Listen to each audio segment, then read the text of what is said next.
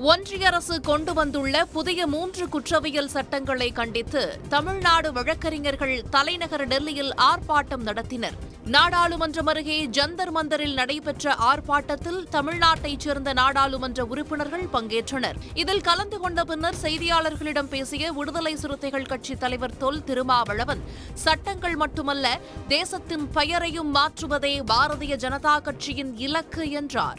மூன்று புதிய குற்றவியல் சட்டங்கள் மக்களுக்கும் வழக்கறிஞர்களுக்கும் எதிராக உள்ளதால் அவற்றை திரும்பப் பெற வேண்டுமென்றும் வலியுறுத்தினார். மக்களுக்கு எதிராகவும் மக்களுக்காக போராடி கொண்டிருக்கிற வழக்கறிஞர்களுக்கு எதிராகவும் உள்ள காரணத்தினால் இந்த சட்டங்களை திரும்பப் பெற வேண்டும் என்று வழக்கறிஞர் சமூகம் இன்றைக்கு வலுவாக குரல் கொடுத்து வருகிறது. இன்றைக்கு தமிழ்நாட்டிலிருந்து இந்த குரல் ஒழிக்கிறது என்றாலும் கூட அகில இந்திய அளவில் இந்த போராட்டம் பரவும். பாஜக அரசு வழக்கறிஞர்களின் இந்த கோரிக்கையை புறந்தல்லாமல் அலட்சியப்படுத்தாமல் பரிசீலிக்க வேண்டும்.